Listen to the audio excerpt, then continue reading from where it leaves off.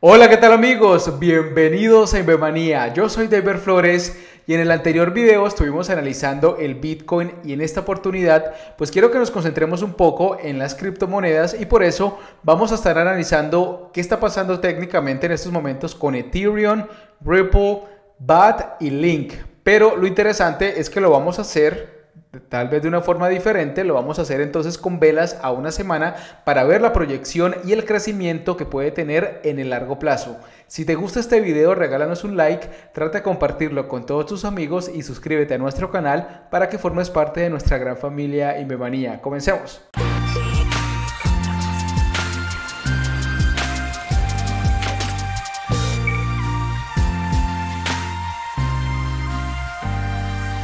Como lo estuvimos viendo en el anterior video, el Bitcoin por estos días no está teniendo un comportamiento muy interesante, ha estado como estático en los 8.200 dólares aproximadamente y como ves en estos momentos está en rojos y esto pues ha desviado la atención de unos buenos comportamientos que están teniendo en estos momentos algunas criptomonedas y por eso es que me ha parecido muy interesante que en este video analicemos técnicamente algunos proyectos que estoy viendo con una muy buena proyección en el largo plazo.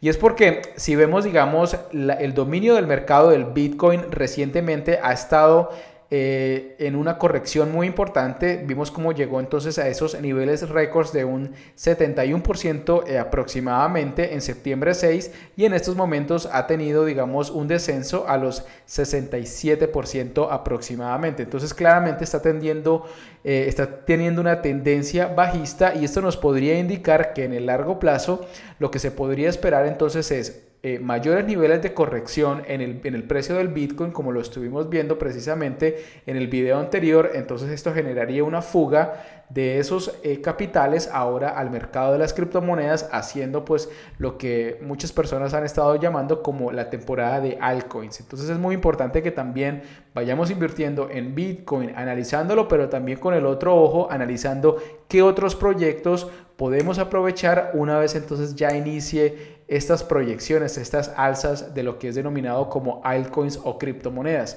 Y por eso quiero que comencemos con la segunda moneda del mercado cripto, que es una de mis recomendadas en el top 8, en ese video que estuvimos haciendo sobre esas monedas que les veo una gran proyección una vez inicie esta temporada de altcoins, que para los que no lo han visto, pues esta puede ser una excelente oportunidad. Vas a ver aquí en la parte superior de la pantalla el enlace que te puede llevar a las dos partes de ese análisis que estuvimos haciendo recientemente con Ethereum estoy viendo lo siguiente. Entonces con Ethereum eh, ha tenido un comportamiento muy similar en velas, repito, de una semana, porque lo que quiero es, más allá de estar viendo ese ruido que a veces generan las velas de una hora, cuatro horas o de un día, más bien ver la película completa de lo que puede pasar con un proyecto o con un mercado para los próximos meses o semanas. Entonces vemos como por ejemplo Ethereum ha tenido correcciones muy similares, esta de un 70% en el 2017 y esta también en el 2000, eh, digamos a finales también de 2017, entonces que tuvo más o menos de un 82%. Y en estos momentos estamos teniendo algo muy similar, pero lo interesante de esto es que Ethereum en velas de una semana normalmente muestra que cuando ha tenido una corrección y luego ha tenido un rebote interesante, una vez genera este rompimiento de su, digamos, nivel anterior, si digamos acá en este punto que era en los 12.531 satoshis, entonces cuando se nivela y rompe EMAS de 21 días, pues esos son digamos llamados que nos muestran unas señales, de, unas señales de entrada muy importantes porque lo que puede suceder es un crecimiento o estos saltos que ha tenido la criptomoneda históricamente. Lo mismo puedes ver acá a finales del 2017 cuando tuvo toda esta corrección, rompió todas estas líneas de EMA y luego tuvo este rebote tuvo la recuperación que efectivamente pudo entonces romper esta resistencia inmediata, ¿sí? anterior acá, y esto indicó pues obviamente un una recuperación o un crecimiento enorme que posteriormente tuvo la criptomoneda. Lo mismo puede pasar con Ethereum en los próximos meses y es que efectivamente como ves acá estamos viendo pues que ya tuvo toda esta caída, tuvo ya este rebote en septiembre y ahora en octubre se está perfilando un crecimiento muy importante que lo estoy analizando detenidamente porque efectivamente de romper esta resistencia acá en los 21.570 satoshis y este, romper obviamente también esta línea de EMA acá de 21 días, pues podríamos tener un comportamiento muy similar como el que les he estado referenciando anteriormente. Entonces yo lo esperaría más o menos por acá en estos niveles, ya que ahí sí nos podría indicar una señal de entrada muy importante en el largo plazo, ya que como ves pues ha tenido crecimientos una vez ha tenido este tipo de rompimientos. Y es que en términos generales Ethereum ha tenido eh, comportamientos similares. Vemos como, por ejemplo, en el 2015 tuvo esta corrección de un 87%, en el 2016 y hasta el 2017 también tuvo esta corrección de un 81% y en estos momentos hemos estado en esta corrección de aproximadamente un 90%. Pero lo interesante de esto es que una vez Ethereum toca estos niveles de soporte ya mínimos, estos pisos, ha tenido estos rebotes que hacen que la moneda pues entonces tienda a luego saltar y recuperarse y efectivamente tener eh, niveles superiores en el largo plazo. Entonces vemos, digamos, si trazamos una línea Acá pues claramente vemos como a pesar de las caídas, de las correcciones que ha tenido Ethereum, así como pasa con el Bitcoin, pues siempre ha estado en una tendencia alcista. Entonces por eso es clave que también veas estos proyectos en el largo plazo que te pueden generar este tipo de rendimientos. Entonces por eso es que estoy viendo a Ethereum como una excelente oportunidad acá en estos niveles de entrada una vez rompa estas líneas de EMAs de 21 días. Ripple. Con Ripple pasa también algo muy similar, diría yo. Ha tenido también estos comportamientos, eh, estas subidas y estas bajadas, pues debido a que es un mercado con poca liquidez, entonces eso hace que efectivamente la, valoración esté eh, cayendo y subiendo dramáticamente. Pero lo que ves acá también es algo muy similar. Entonces vemos cómo ha tenido estas caídas y acá en estos momentos eh, digamos, en diciembre del 2017, cuando en esos momentos rompió esa línea de EMA de 21 días y de 55 días, también fue una señal de entrada muy importante para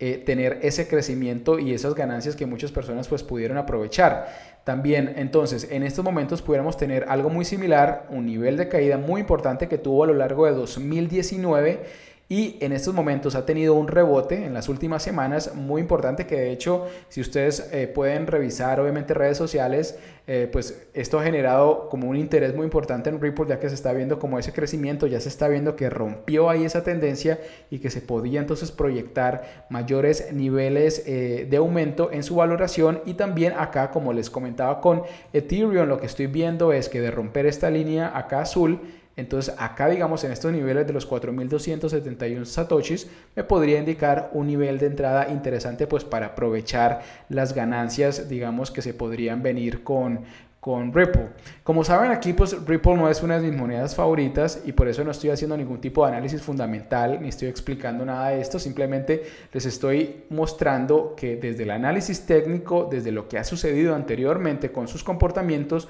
cómo esto nos puede mostrar en estos momentos que puede haber un, un, nivel de entrada interesante que puede ser aprovechado para las personas pues que lo deseen hacer. Y como saben, pues finalmente esto no es un consejo particular eh, financiero, pues para tu caso específico, sencillamente soy yo aquí comentando lo que estoy viendo del mercado y lo que yo estoy pues pensando hacer para los próximos días.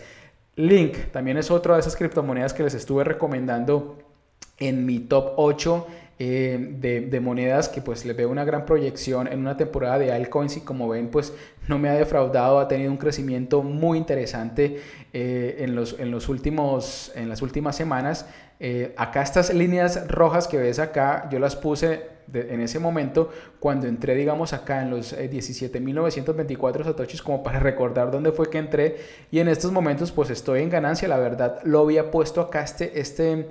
digamos, este nivel de resistencia acá en los 23.143 satoshis como para recordarme que ahí era donde estaba pensando eh, vender porque como ves pues básicamente ya estaba tocando esa resistencia próxima y pues quería como vender un poco para luego aprovechar una caída. Pero la verdad es que dado, digamos, el interés que está teniendo en estos momentos también en el mercado cripto, eh, eh, Chainlink, la criptomoneda Link, pues he decidido esperar un poco, arriesgar un poco porque parece que puede tener todavía una proyección mucho mayor, sobre todo porque si ves acá en la gráfica Max se está formando un cruce dorado muy interesante que nos podría entonces indicar mayores niveles de crecimiento. Y es que como ves en términos generales, pues esta criptomoneda ha estado obviamente en, una, en, una, en un nivel alcista eh, considerable y la proyección que tiene desde los fundamentales pues eh, indicaría que es mucho mayor. Muy bien, y finalmente BAT, que es una de esas monedas que también recomendé en ese top 8 porque es uno de mis, de mis proyectos favoritos, como lo saben muchos, pues tiene también una, digamos, un comportamiento muy similar, muy errático, está obviamente en una constante fluctuación y eso obviamente genera pues un gran interés para esas personas que les gusta obtener... Eh, niveles de crecimiento, digamos, ganancias importantes. Y aquí lo que está pasando es que BACT pues también ha tenido digamos rebotes muy similares, ves como cuando ha tocado fondo luego genera entonces un cambio de tendencia y eso automáticamente ha generado unos crecimientos muy importantes en su criptomoneda. Vimos cómo desde abril pues BAT tuvo una corrección muy profunda y en estos momentos ya luego de tocar este piso acá en los 1676 satoshis rebotó y en las últimas semanas ha tenido un crecimiento muy interesante que nos podría indicar con esta formación acá también de cruce dorado de la gráfica MAT y como una ligera recuperación en su volumen de mercado, dado que pues en estos momentos está o digamos recientemente ingresó a plataformas como Coinbase Pro, en donde obviamente pues puede tener mayor liquidez, mayor tráfico para que personas compren y vendan su criptomoneda, así también como plataformas como Kraken, pues esto hace que efectivamente genere un mayor nivel, por acá está Kraken, ¿sí? Entonces esto hace que automáticamente pues una criptomoneda tenga acceso a mayor volumen y por tanto pues esto hace que eh, se vea reflejado en, en, estos indicadores. Entonces claramente esto nos está indicando o nos está mostrando que al continuar con este crecimiento también y de romper entonces esta resistencia inmediata que ves acá, en aproximadamente los 2.674 satoshis que coincidiría entonces con el rompimiento de esta línea de EMA acá, azul que ves, pues ahí nos podría entonces indicar un nivel de entrada interesante para pues aprovechar al menos estos crecimientos que ha tenido anteriormente. La verdad es que en este video no quise hacer el ejercicio de proyectar cuánto podría crecer o no porque estamos hablando de un análisis técnico en el largo plazo, repito, en gráficas de una semana y es básicamente para ver qué es lo que ha hecho y qué es lo que podría proyectar con esas tendencias anteriores. Y finalmente, como siempre les he recomendado en mis videos, más allá de establecer estos niveles de entrada también es muy importante que establezcan esos niveles de salida. Entonces es importante que tú como inversionista establezcas cuál es tu nivel de riesgo. Es decir, vas a esperar a que la moneda no, digamos, caiga un 5% de lo que tú habías proyectado y ahí salir o cuál es tu nivel de riesgo, con cuánto estarías dispuesto a perder. Es muy importante que establezcas entonces esa salida también en caso que tu análisis no, digamos, eh, se comporte de la forma que tú habías proyectado inicialmente. Entonces es clave siempre ese manejo de riesgo en cualquier inversionista y más aún en las criptomonedas, pues que tiene obviamente un nivel de volatilidad y por tanto un nivel de riesgo mayor. Muy bien amigos, esto es todo lo que tenía para comentarles en este video rápido de análisis técnico y tal vez como lo que quería hacer es, era como un repaso a esas criptomonedas que les estuve eh, recomendando en estos dos videos que ves acá del top 8 eh, hace dos meses. Y pues como ven pues ha tenido digamos unos crecimientos muy interesantes en el largo plazo como Link y como BAT y efectivamente como Ethereum. Y bueno, antes de despedirme, pues me gustaría saber ustedes qué piensan de estas proyecciones en el largo plazo con estas criptomonedas, cómo las están viendo y sobre todo también que nos dejen ahí en los comentarios de este video o en nuestro grupo público de Telegram, arroba comunidad y memanía otras criptomonedas, otros proyectos que en estos momentos están analizando y que también les ven interesantes niveles de entrada. Muchísimas gracias por tu atención y nos vemos en el próximo video. Chao.